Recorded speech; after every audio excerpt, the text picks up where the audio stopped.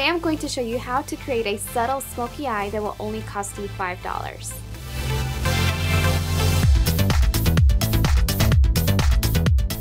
To begin, I'm going to take the green corrective concealer and neutralize all of the red areas from my face.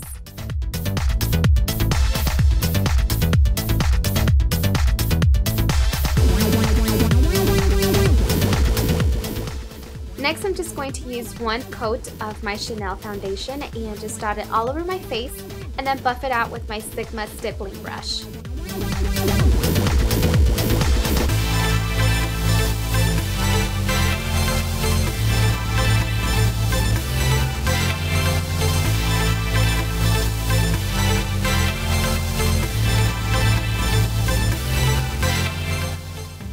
Taking the darkest shade from my concealer palette and I'm just going to use it to conceal my under eye circles and any other blemishes.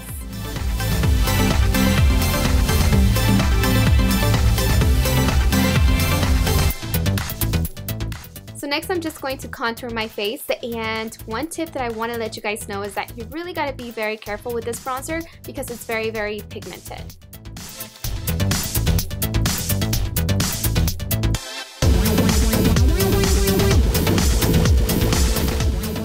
Now taking my blush brush, I'm just going to add a little bit of color to the apples of my cheeks.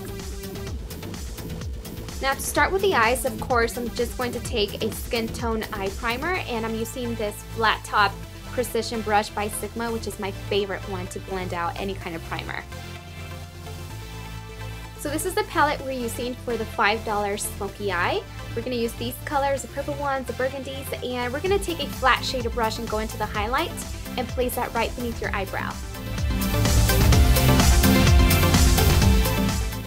Also going to highlight in the inner tear duct.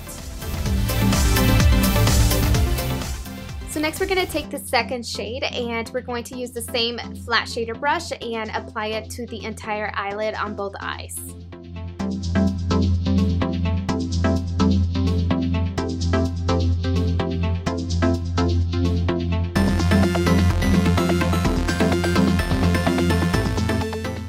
Next, I'm just going to go into the dark purple of the palette and using a small short shader brush, I'm just going to buff it into the bottom outer corner of my eyelid. And here I'm just taking a darker gray from the palette and then buffing it into the brow bone and crease.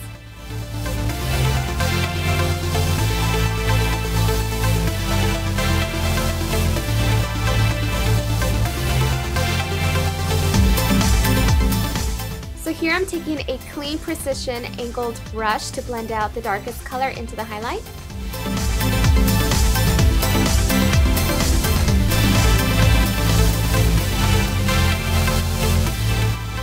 Next I'm taking my Lineur Intense liquid liner to line my top lid.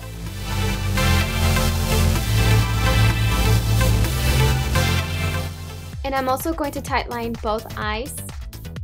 And then next I'm taking my Volume Million Lashes Mascara and I'm going to give myself one coat to the top and bottom lashes.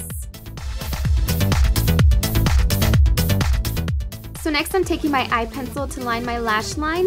Make sure you avoid the waterline because we're going to take um, Stila's Eye Kajal and Topaz to make our eyes appear a lot bigger.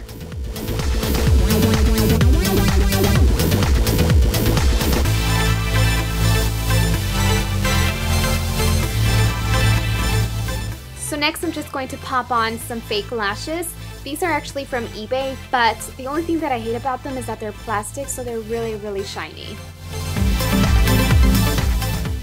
So next I'm just going to line and fill my lips using this Max Factor lip liner. The only thing is that I believe this is discontinued. And I'm going to top it off with my favorite lipstick ever. It's Icy Nude by Revlon.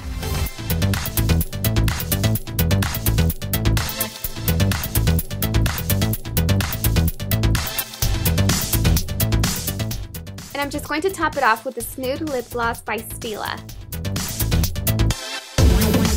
And here's the final look. I hope you guys liked it and let me know if you guys get a chance to try it out.